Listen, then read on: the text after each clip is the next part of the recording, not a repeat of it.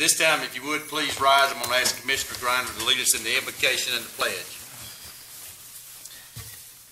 Dear Lord, just thank you for this day you've given us, Lord. Just be with us and guide us and lead us in the direction you want us to go in, Lord. Just thank you for our military and all the many things that they do for us to keep us safe and from harm, Lord. And Lord, but just give us your wisdom tonight. Just help us to make the right decisions for the county and just be with us each and every day, Lord, and guide us and lead us in the direction you want us to go.